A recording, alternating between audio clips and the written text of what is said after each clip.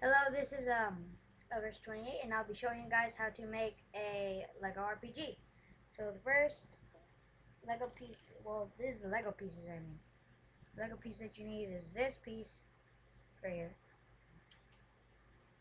This. This, like those German grenade bombs things. A cone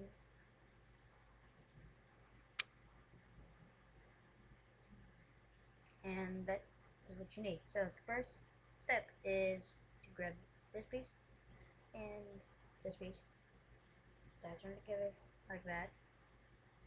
Then grab the handle right here. Of course, I'm like up right there. Attach it. Stick cone on next to this piece right here and that's how you make your Lego RPG. And the way I will show you guys how to make it, it will look like it fits. Crazy Cuckoo guy. Yeah, exactly that.